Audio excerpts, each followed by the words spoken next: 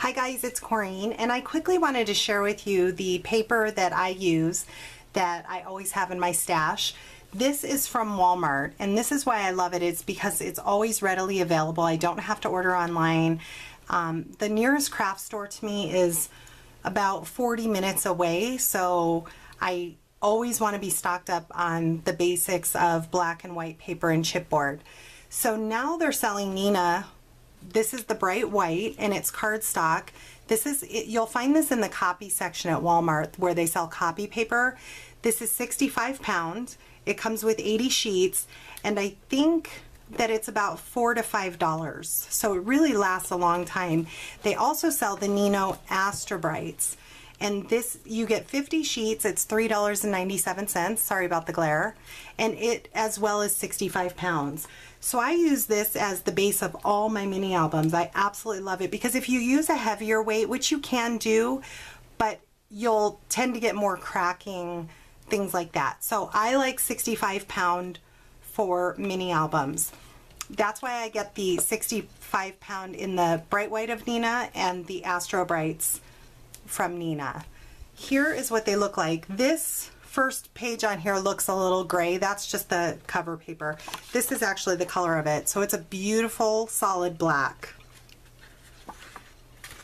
And then this paper here, this is not the Neenah. I also use another paper from, I don't have the um, cover of what it looks like, so I'll insert a photo here.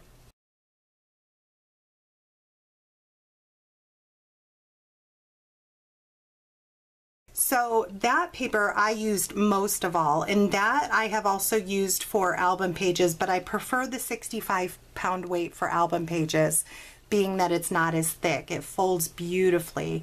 This here is 110 pound, and um, it's the Georgia Pacific brand, and you get like, well, my sister bought me a huge stack. I think it had 300 papers in it for six or seven dollars at Sam's Club. So this is what I use for everything. I use this to cut out die cuts. Look how intricate that is. And it cuts out beautifully. Again, this is 110 pound. I also use it for a lot of printing cuts with my Cameo. So I've printed on this and it cuts it out again beautifully. All, all of these are from the Simple Stories line. And look how gorgeous those look. So again, that's the Georgia Pacific, but it also works great with the Neenah White. And I do also want to share with you very quickly, when you score it, how beautifully it scores.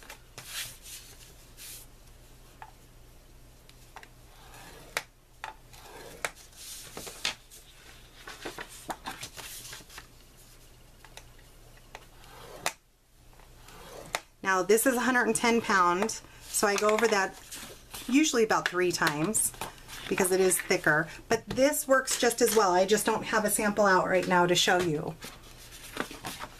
But when you when you score it, you'll get that bump there. You want to fold along that bump and that will help so you don't get any cracking. So look how beautiful that is. No cracking. It's very smooth. Same with this. Just a beautiful fold. So those are my must-haves in my craft room, along with the Georgia Pacific. I use that mostly. The only thing I reserve this for is mini albums because like I said, I don't want it too thick. Otherwise it makes the mini album too thick and harder to work with as well. The other thing I want to share with you is the chipboard that I use.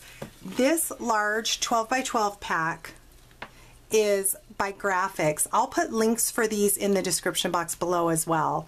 This is a 25 pack of 12 by 12 and this I just got on Amazon. I think I paid $5. Sometimes you'll find it cheaper to buy the 8.5 by 11 because very rarely do I ever use 12 by 12. I always cut this down. But it was actually cheaper to buy 12 by 12. I paid $5 and if you have Prime, it's on free shipping. And here is the chipboard here. It's a medium weight chipboard. So I'm trying to bend it here. You can't even bend it. It's it's very sturdy, very thick. So I just thought I'd quickly share some of my favorites with you today and I will link all of these in the description box if I can find links for them on the Walmart site. If you have any questions, please let me know. Thanks for stopping by.